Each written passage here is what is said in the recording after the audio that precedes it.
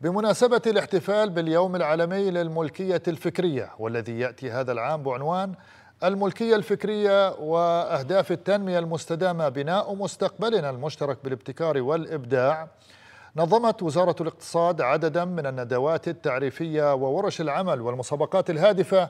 إلى رفع الوعي بالقوانين والتشريعات الوطنية الخاصة بالمصنفات الفكرية وإجراءات حمايتها ودور حماية حقوق الملكية الفكرية في تحفيز الابتكار وتعزيز دور تسجيل براءات الاختراع في توفير الدعم لمجالات العلوم والتكنولوجيا والتحول الرقمي نحو الاستدامة في المصنفات الفكرية.